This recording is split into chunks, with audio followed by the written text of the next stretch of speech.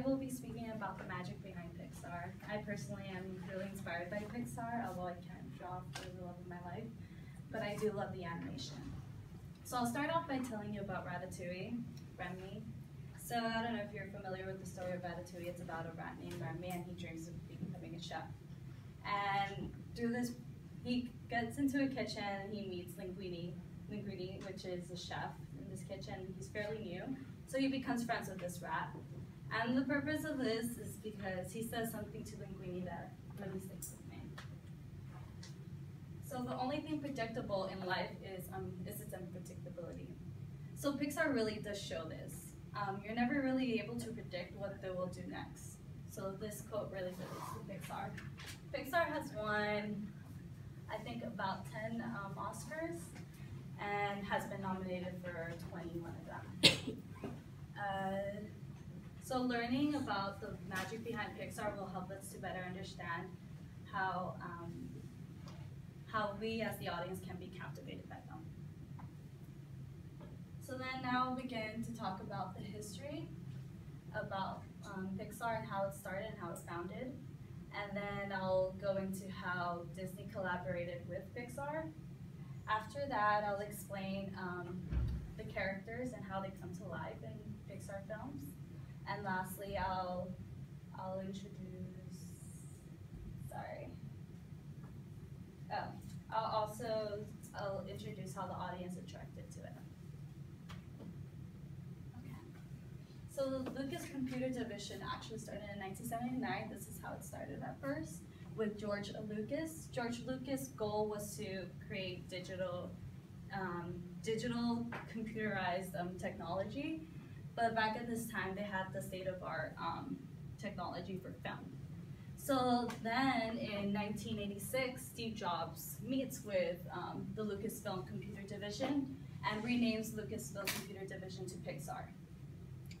So once they collaborated, they came um, to produce the Red's Dream. So this was their first animated um, movie.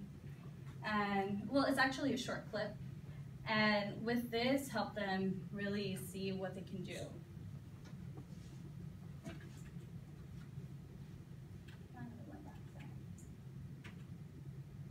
All right. So then in 1991, Pixar collaborated with Disney. And with that came Toy Story, which was huge. And then in 1994, after Toy Story came to be, Pixar started to expand. And they needed more people to come and collaborate through art and loads of stuff.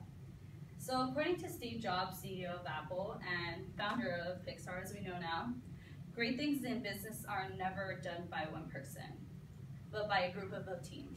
A group, a group, yeah, a team. so with a team, being um, people that work through animation and also being with people that work through instruments help movies like this come to life.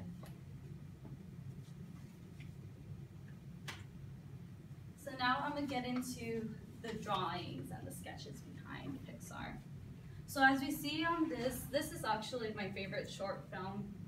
Um, it's called Feast. It's the best film. It's about a puppy and how he enjoys eating everyone's leftovers. So over here we see these oval shapes. So right here the artist is trying to get the right side of, um, of sorry, of, Winst of Winston. This is Winston. and so he creates these ovals so he could help shape the body. Later on throughout the sketch, he creates his paws and eyes and ears and collar to create an image of a dog. So without drawing boards, um, artists wouldn't be able to sketch out Winston or any other um, character for that matter. So drawing boards are really important in animation. Uh, um, once drawing boards came to be, then um, CGI is introduced, which is computer generated imagery. So as we see here, the dog is able to move its mouth, take out its tongue, and move its paw, so it's able to react to any action. It's moving. I don't know if I can say it There you go. As you can see, with this GIF, you, I don't know if you saw them like pulling on the pizza and everything. You can see how this imagery is able to do that. Alright, now I'm gonna talk about color and sound and also how this is important to all the animations. So color is very important because the brightness is, it attracts our eyes. And according to an article in the UX Matter website, last updated in October 3, primarily colors and high contrast in graphics layouts evoke um, exploration. So this is really good for kids to watch because they're just really amazed by the color.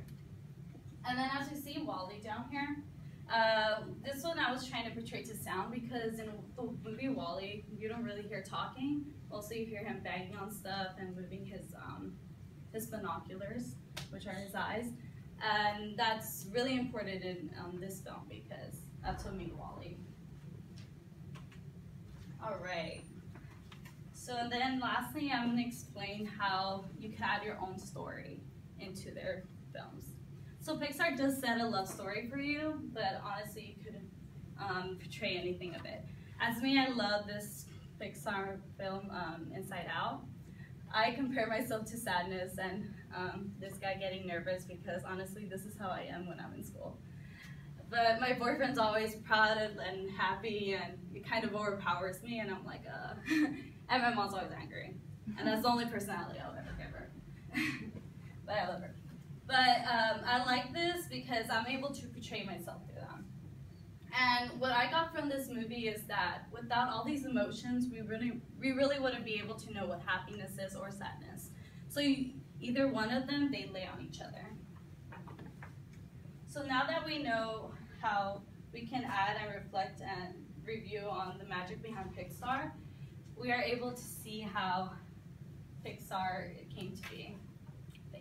Thank you.